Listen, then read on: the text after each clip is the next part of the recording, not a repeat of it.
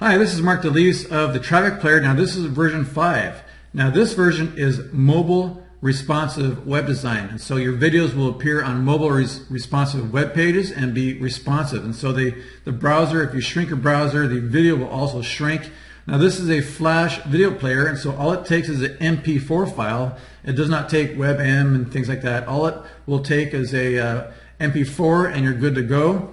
And you'll see here that uh, you'll number after you install the traffic player, uh, it shows up in your WordPress dashboard right here on the left hand side. And you got a number of pages here. The, the global video configuration is to put in your Google Analytics code. You just click on there and you get your uh, Google Analytics code number and you insert it there because it does it tracks all your stats for your videos. Here is your manage your videos. Here it will you can manage all of your videos across all of your sites it also has embed code that you can get and put on static HTML pages. So let me just show you a real demo of how this works. After you install it in your visual editor, you'll see a TP uh, button right here, Traffic Player Pro. You click on this and a window comes up. Let me just move my video over and you can call it for your own purposes uh, a video name. Now obviously this is also important for the, for the Facebook share. So whatever you put in there, it'll show up in your Facebook share on your on Facebook posts as well. It'll go by the video name here. Here you can select the uh, self-hosted video file. It's an MP4, and you can also put Amazon S3 obviously URLs there. So you select that for your self-hosted files. Uh, you can also select YouTube URL or video ID, and also you can use any embed code, whether it's for from Easy Video Player or any type of embed code from Dailymotion or anything that you want. Uh, you, you, know, you can use embed code. So, for example, let's start off with the self-hosted video file. Here you put your MP4 file right here. What's really cool is that it's HTML5, and so this line right here, any URL for mobile. Now, what this takes is a uh, video file and it, it can take an MP4. You can put an MP4 there, four. It also takes what's really really cool is 3GP video file format. Now this greatly reduces the file size. This format. And you can convert your MP4 here and convert it to a 3GP. I'll show you the software that you use for that in different file in different video.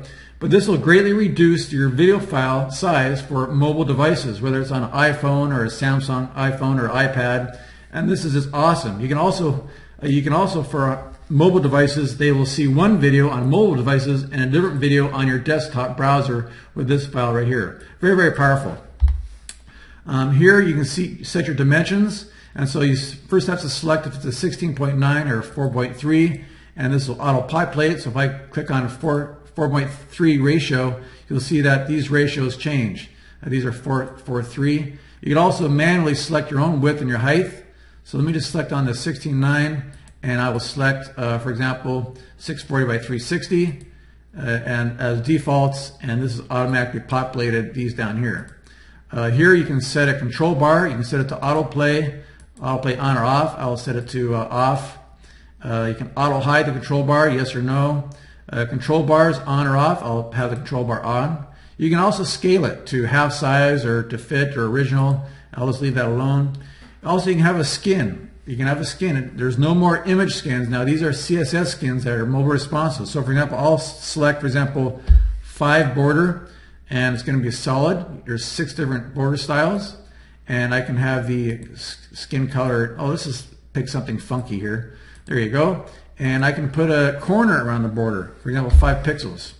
Here I can set the background opacity. This is for the pop-up window. You can also have the video redirect when it finishes and you can have the splash image to have at the start and put that there. Also, what's really, really cool, you can have an intro video and an outro video. So what happens if you put an MP4 file right here, it'll play this one first, then it'll play your main file up above, and then also you can have an outro video that plays at, at the very end. This is great if you have an intro uh, that you want to change up, or if you want to have a closing that you want to change, you simply just put it right there. Here you can center the video. You can add social buttons to uh, self-hosted videos only. The social buttons are Twitter, or Twitter, Facebook, embed code, and email. Okay, I'll leave that on. And here you can choose your different skin. So if I click on that, there's a lot. There's five different uh, control bar skins that you can select from. I'll choose that one right there. So I'm going to select a video file, and this is going to be a demo right here. It's a stock video, and I'll select this one right here. Here's my page there. So I'm going to come up above and I'm going to put that MP4 file right there. And it's going to be 640 by 360 and I'm going to simply just uh, have no, no redirect and I click on the insert button. See that? And a traffic player uh, image shows up in the, in the visual editor right here. And I'm going to publish this page. And this is how you simply add a simple uh, video on your WordPress page. So I'll view, view this page and you can see there that that's the video right here. And as you can see, it adds a nice little skin around it. See that? Add some social buttons on there. And so that's a cool video. Now if I come back here, uh, if I come back, I can click on manage videos and you see that this will globally, you can manage all your videos. You can see on right here I have uh, two videos that are on here. I, this is the demo that I just made that I just showed you.